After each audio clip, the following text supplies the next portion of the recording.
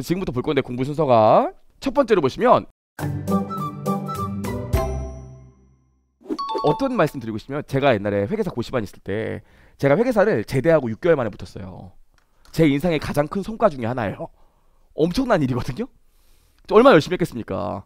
근데 제 옆자리에 앉아 있었던 애가 있었어요. 저랑 나이가 동갑이었는데 저도 1차 졸 1차 군대 제대하고 1차를 6개월 만에 붙을 정도면 새벽 2시까지 그 독서실에 앉아 있었거든요. 도서관에 고시반에.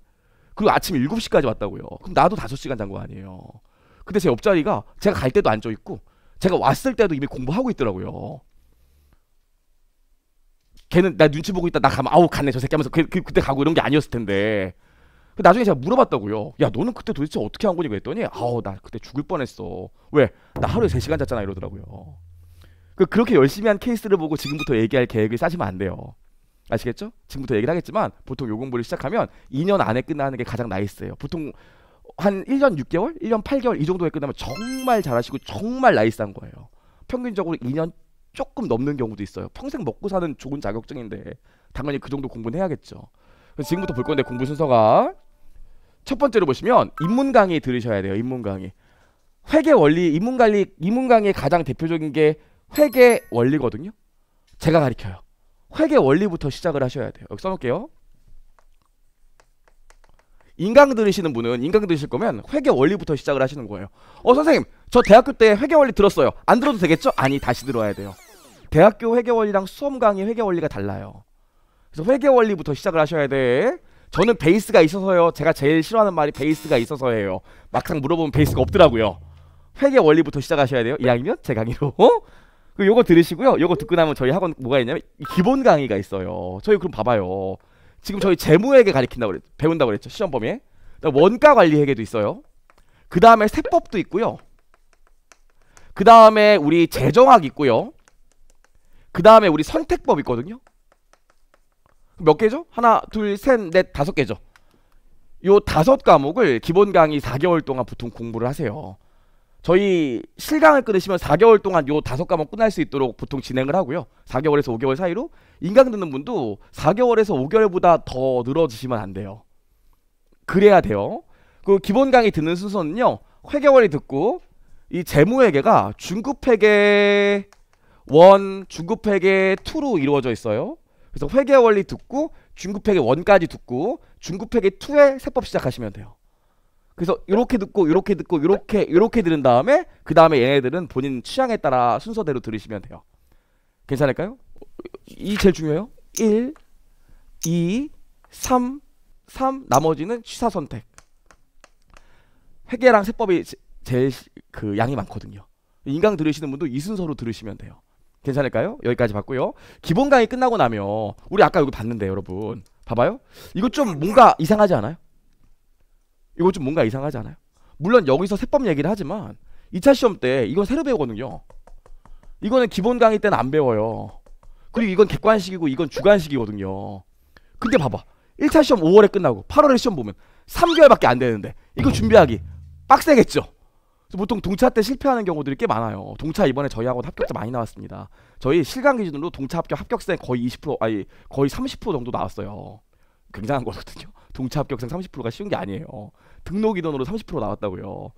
광고 아니에요. 자 증거 자료 했어요. 꽤 많이 나왔는데 이게 벅차잖아요. 준비할 시간이 다 안 된다고요. 이게 또 짧은 객관식 문제랑 긴 주관식 문제랑 같은 과목이라도 레벨로 차이가 상당한데 그래서 보통 뭐가 있냐면 내가 기본 강의까지 잘 소화했으면 심화 강의라는 게 있어요.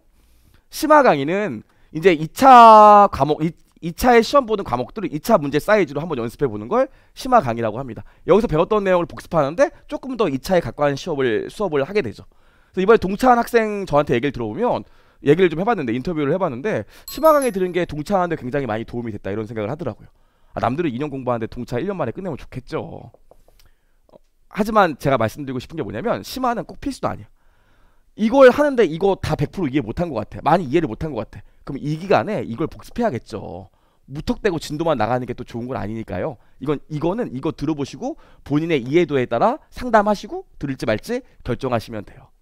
이렇게 진행됩니다. 자 여기까지 하고 나서요. 그 다음에 객관식 강의가 있어요. 객관식 강의는 뭐냐면 정말 이제 1차 시험을 대비로 정말로 문제 빨리 푸는 요령 마지막 핵심 정리 실제로 객관식 기출 문제들은 어떻게 나오는지 이렇게 문제 객관식 문제 푸는 연습을 하는 과정이 객관식 강의예요. 보통 여기까지도 좀 들어주셔야 돼요.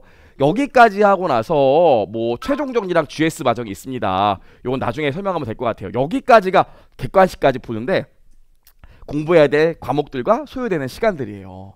보통 몇 개월이죠, 지금 뭐? 5개월, 7개월, 10개월, 11개월. 벌써 1년이네. 물론 언제 시작하냐에 따라서 이게 좀 줄어들긴 하겠지만 보통 이거 1차 준비하는 데만 해도 다른 학원도 마찬가지고 저희 학원도 마찬가지고 한 1년 정도 사이클은 걸린다고요. 계속 얘기하지만 뭐 주변에서 어디서 이거 7개월 만에 붙었네 이런 거 듣고 흔들리지 마시고 하시기로 하셨으면 1년에서 2년 정도 걸린다. 아니 2년에서 3년 정도 걸린다. 이런 생각 하고 가셔야 돼요. 왜 이런 얘기를 옛날에 제가 안 했는데 이제 합니다. 왜냐면 진짜 저도 강의를 저도 강의한 지 한 10년 됐거든요. 10년 좀 넘어가고 있는데 합격자도 많이 나왔어요. 생각보다 많이 벌죠. 하지만 무슨 얘기하고 싶냐면 이 한 명 한 명 한참 그 소중한 20대 중반 30대 초반까지 이 나이에서 제일 소중한 시간 쓰고 있는데 잘못된 정보 듣고 들어왔다가 나중에 이거 빼지도 못하고 좀 많이 음. 힘들어 하시는 분도 많거든요. 그러니까 마음을 좀 충분히 들으시고 아 정말 이 정도 걸리는구나. 한번 공부하기로 했으면 시간이 오래 걸리겠네. 이런 생각은 좀 하고 가시는 게 좋다고요. 여기까지 말씀드렸고요. 여기까지 하고 나서 1차 시험 보면 동차 강의가 있습니다. 왜냐면 1차 시험 붙고 나면 2차 시험 강의 과목에 대한 공부가 많이 안 돼 있을 테니까 요때 요거 이제 2차 강의를 해요 여기까지 하면 정말로 2차까지 한 사이클이 끝나게 됩니다 혹시 여기까지 하고 시험 보고 떨어지면 그해 12월부터 이제 유해생 2차를 두 번째 보는 반 과정이 유해 1기, 유해 2기, 유해 2, 3기 이렇게 시작되죠. 이거 3기인데 2기로 나와 있네요. 이렇게 시작되죠. 그래서 유해 1기, 유해 2기, 유해 3기. 유해 때는 이렇게 진행이 돼요. 그래서 여기서부터 여기까지 하면 베스트가 2년 내외거든요. 그래서 제가 제일 베스트가 2년 내외라고 하는 거예요. 보통 그 정도 걸립니다.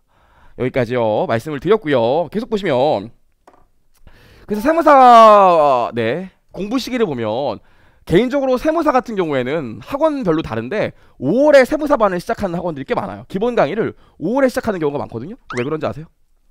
이거 업계의 비밀인데 보통 5월에 세무사반을 기본 강의를 시작하는 학원들이 꽤 많아요. 왠지 알아요? 1월에는 회계사반 오픈해야 되거든요. 저희는 강사가 많기 때문에 저희는 1월에 회계사반 하시는 분 따로 회계사반 하시고 세무사반은 1월에 따로 열려요. 어, 보통 그렇게 합니다. 저도 회계사 강의하는데 저는 3월에 회계사 하거든요. 그래서 저희는 선생님들이 과목별로 두 분씩 계시기 때문에 두 분씩 계시기 때문에 저희는 1월에 오픈합니다. 당연히 먼저 시작하는 게 좋겠죠. 그래서 저희 공부 보시면 1월부터 6월까지 입문 강의랑 기본 강의 하고 저희 학원 커리큘럼 보시면 7월부터 10월까지는 심화 강의 하시고 꼭 저희 학원 수업을 안 들으시더라도 인강으로 들으시더라도 요 계획표에 따라서 공부하시는 게 좋을 거예요. 그래서 7월부터 10월까지는 심화 강의를 들으시던지 기본 강의를 다시 복습하시던지 그리고 보통 학원들이 11월부터 1월까지 기본 객관식 강의를 합니다. 요때 3회독 하시고 2월부터 4월까지 객관식 강의도 끝나고 혼자 복습하다 보면 저희 학원이 최종 정리반이랑 모의고사반을 운영하거든요. 1차 대비로 요거에서 4회독 하시고 그리고 단계 특강 보시고 5회독 해서 시험 보시면 돼요. 그래서 혼자 이제 1월부터 공부를 좀 하시려고 하시는 분은 지금 요 계획표에 따라 공부하시는 게 가장 이상적이에요. 뭐 본인 능력에 따라 다르겠지만 자꾸 욕심 부려서 나는 더 빨리 끝내겠다 이렇게 생각하시는 분이 있는데 다 열심히 하고 다 똑똑해요. 요 스케줄이 가장 이상적입니다. 더 빨리 할 필요도 없고요. 더 늘어질 필요도 없어요. 그래서 이렇게 공부하시면 좋을 것 같고요.